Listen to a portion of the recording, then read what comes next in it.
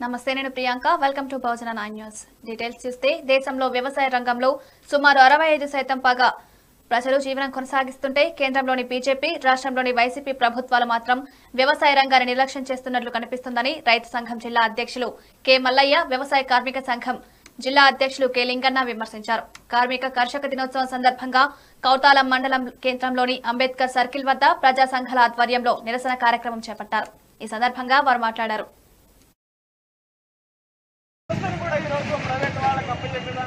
కేంద్రంలో ఉన్న నరేంద్ర మోడీ ప్రభుత్వం ప్రయత్నం చేస్తూ ఉంది. ఈరోజు నరేంద్ర మోడీ ప్రభుత్వం ఈరోజు మేము అవినీతి లేకుండా పరిపాలన చేస్తామని చెప్తున్నారు.